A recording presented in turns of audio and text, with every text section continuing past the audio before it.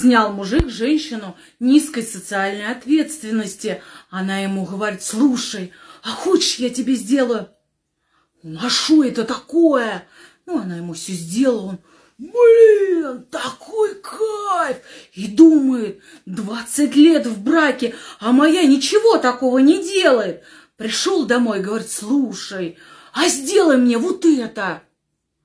Она, а что это такое? Ну, он ей все объяснил, сказал, как что делать.